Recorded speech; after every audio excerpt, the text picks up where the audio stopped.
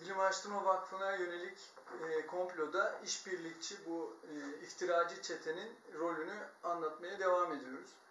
Şimdi bu iftiracı çete e, daha öncesinde, komplonun öncesinde işte internet sitelerinden böyle her türlü iftirayı atarken sonrasında da bu iftiraları basına da servis ederek böyle basında bir kara propaganda tarzı bir ortam oluşmasına da vesile oldular.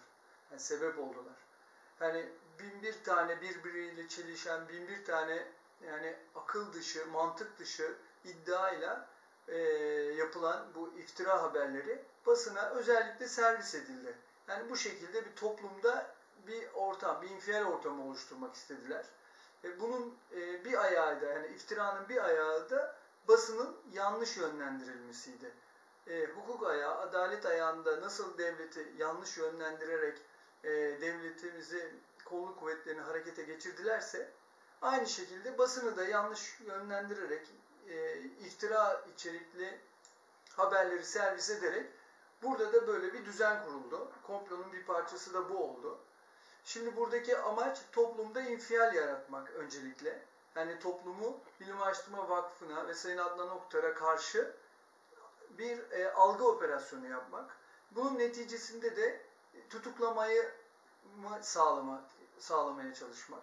Aynı zamanda da bu e, iftiralardan dolayı Bilim Araştırma Vakfı'nın hakkını, hukukunu savunacak, buradaki çelişkileri ortaya koyacak insanları da engelleme çabası.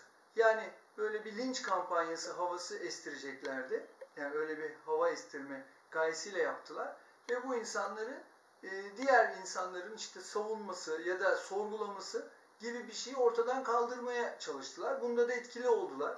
E şimdi baktığımız zaman birçok köşe yazarı, birçok yazar yani belki de hayatta söylemeyeceği şeyleri sırf bu e, yanlış haberler yüzünden medyaya servis edilen, bu işbirlikçiler tarafından servis edilen e, iftiralar yüzünden e, yazı yazmak zorunda hissettiler kendilerini. Ve bir takım yazılar yazarak işte onlar da bir ifadelerde bulundu.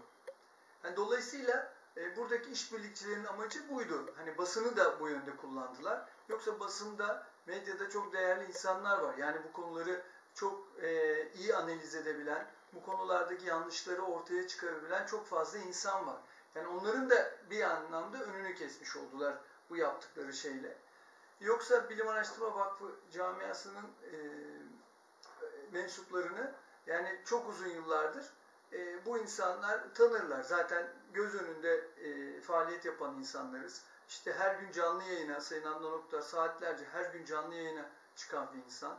E, bir takım şeyler yazılıyor, çiziliyor, basın da yakından takip ettiği bir insan aynı zamanda. Eğer böyle bu adamların, bu işbirlikçilerin bahsettiği gibi iftiralar olsaydı eğer, ya bunlar gerçek olsaydı yani şu son 20 yıl içinde bir kere bile böyle bir yazı çıkmadı. Böyle bir, bir şey bile yoktu yani. E, 20 yıl sonra bir anda tek bir satır yazmadan bir, bir anda bu kadar haberin basına yani kara propaganda içeren haberin servis edilmesi işte o anlattığımız komplonun da bir ayağıydı, bir parçasıydı. E, bu bu konuda tabii çok dikkatli olunması lazım. Hani genel olarak yani zaten e, suçsuzluk karinesi var. Yani insanların e, bir takım e, suçlamalar olabilir, iddialar olabilir ama bunlar ispatlanana kadar hem insan suçsuzdur yani anayasal hak olarak. Bu böyledir. Şimdi bunun ötesine geçmek yanlış olur. Çünkü onca insan şu anda tutuklu ve mağdur durumda ve bunların e, şu anda bu iddialara cevap veremiyorlar.